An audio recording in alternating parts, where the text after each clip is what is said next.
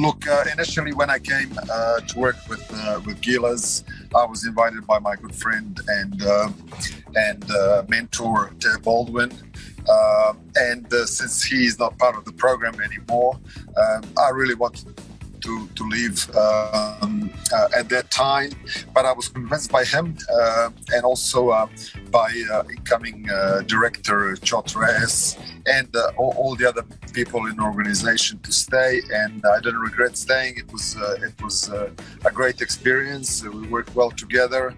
Um, but now, you know, with the with the new season sort of coming up, you know, I reconsidered and uh, and thought uh, uh, uh, I may look for, for some other opportunities, you know. But I've got nothing but uh, really great things to say about the people uh, in Graham, and uh, you know, uh, that I came and met all the people, and I tried to help as much as I could.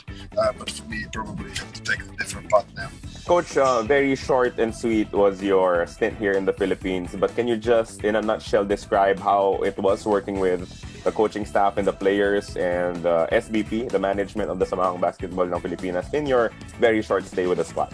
Yes, I mean, I had great uh, great times uh, uh, with all the good people that are in a, in a SBP organization. Uh, so, you know, I have no regrets of, of taking this job and, and, and uh, having fun. We, we will really hard because it was a difficult situation with unavailable, unavailability of the players, but also Coach Chot wasn't available, so I had to step in uh, and I did the best I could. And, you know, there is no really hard feelings about anything, but it's just another opportunity you were part of a very surreal moment when you flew into Auckland coaching the away team, but then played in a venue that was packed with Filipinos. Like, how weird was that moment? How surreal did it feel for you? You're right. It was absolutely weird. The first time I have coached against the team that I played and coached for 25 years. And uh, and to be in, in a very familiar environment, uh, surrounded by uh, those people, you know, from New Zealand organization, the players, the coaches, uh, and the venue as well. And then uh, the venue being, you know, at least half of the people were Filipinos, uh, and plus the fact that they really showed us, you know, um, um, how we should play basketball. They have uh, came out of firing and played very well. You know, unfortunately, we had a bad day, uh, bad night uh, that night, and, and lost really convincingly. But the whole experience, as you said, it was surreal and. Uh, um, but it was fun as well. You were here during a very uh, challenging time in Philippine basketball, of course. We know that the results of the pandemic being um, straining the schedules of the different leagues. You talked about the availability of the players and the coaches. But um, what was it like working with the SBP, with uh, Chairman uh, Manny Pangilinan, and of course President Al Panlilio. What, what can you say about your working relationship with those two? All the time that I spent with with these people were very valuable for me, and uh, and uh, I think you know they they also. Uh, um, they also uh, saw that you know I was giving everything I had, and uh, and they were appreciative of that. And you know I have nothing but uh, but great things to say about uh, the boss MVP and the boss Al, boss Butch, you know Yvette, you know all those people as well as coaching staff.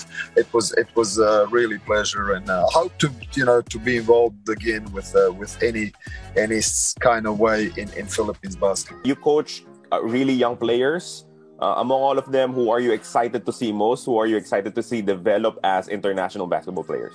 Look, you know, I mean, they're all done well.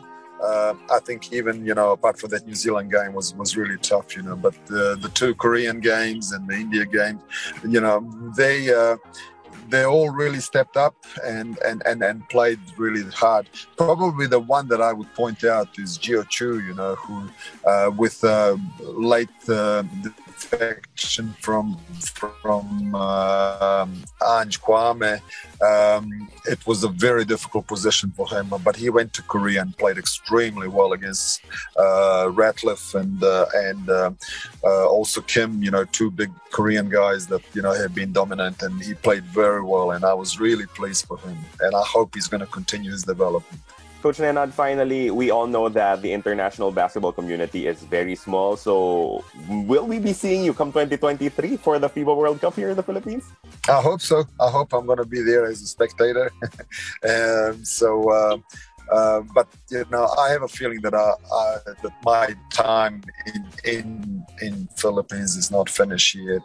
Uh, so you know, I don't know when will I be back, but I, I'm sure I will be back and working as well here.